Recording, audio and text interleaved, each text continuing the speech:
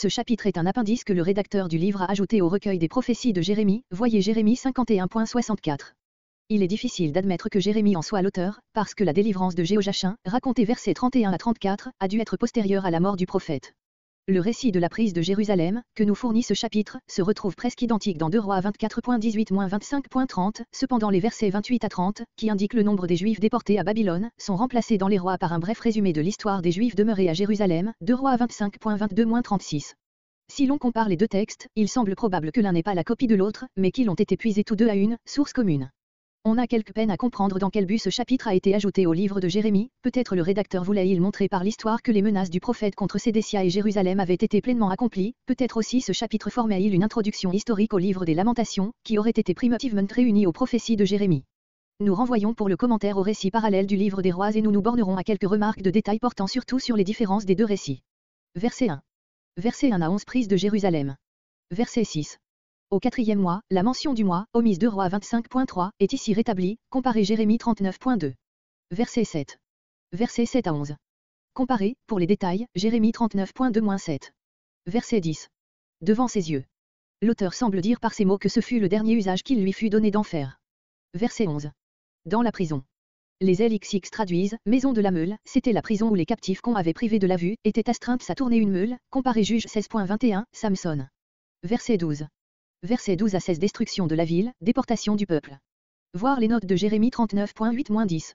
Le dixième jour. Les rois parlent du septième jour, cette différence provient sans doute de la confusion des deux lettres qui en hébreu désignent ces deux nombres. On ne peut décider quelle leçon est la plus exacte. Verset 15. Une partie des pauvres du peuple. Des pauvres, une partie fut emmenée en captivité, verset 15, et une partie fut laissée à Jérusalem, verset 16. Verset 17. Versets 17 à 23 Enlèvement des colonnes, de la mer, des supports, des ustensiles d'airain, enfin des ustensiles d'or et d'argent.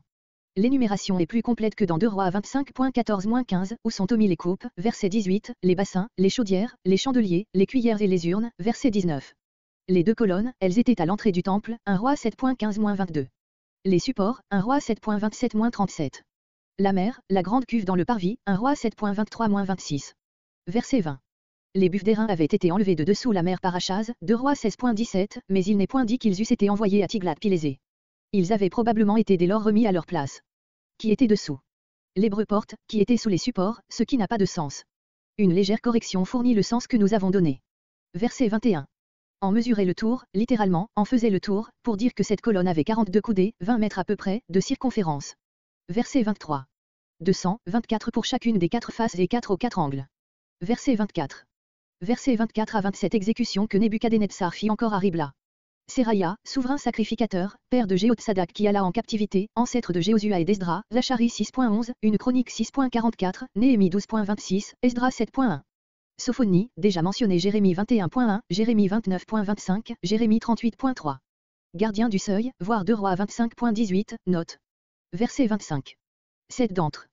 Le livre des rois dit 5, sans que nous sachions lequel des deux chiffres est le vrai qui voyaient la face du roi, les plus hauts dignitaires, qui avaient droit d'entrer chez le roi. Verset 28. Verset 28 à 30 Dénombrement des Juifs déportés par Nebuchadnezzar.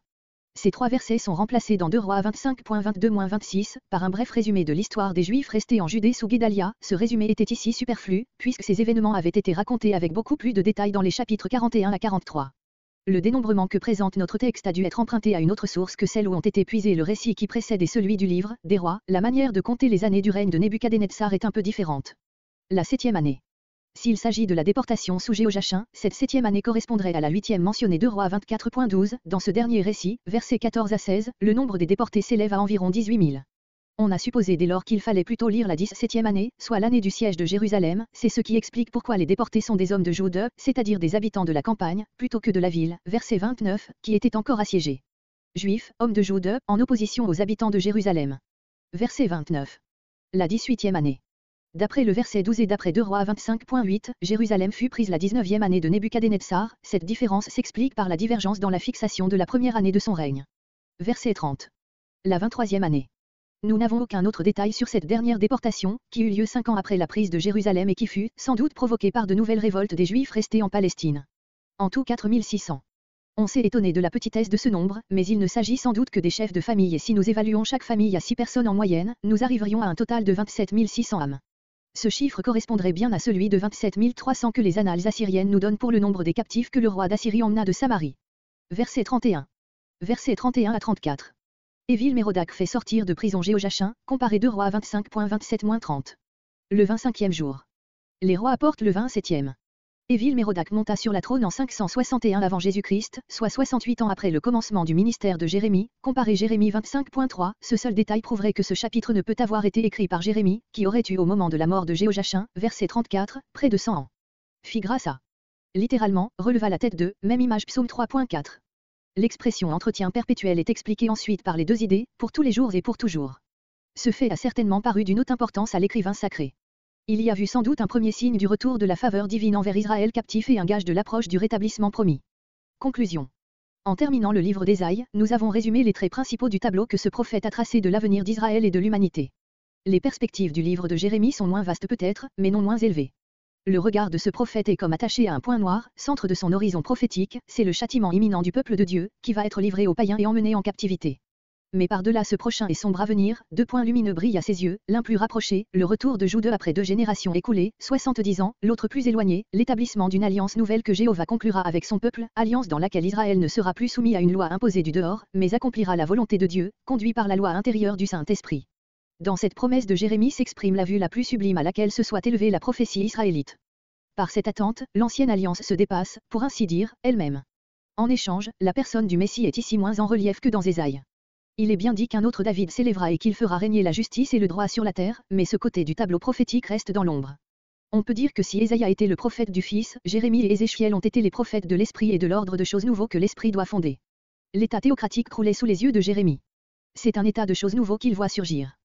Un écrivain moderne a dit, les quatre principales époques de la vie d'Israël se résument dans quatre noms, Abraham, Moïse, David, Jérémie. Abraham est la racine, Moïse, le tronc, David, la fleur, Jérémie, le fruit. L'accord parfait de la volonté humaine avec la volonté divine par le Saint-Esprit est, en effet, le but suprême, le fruit mûr du salut que Dieu a préparé pour l'homme par l'ancienne alliance.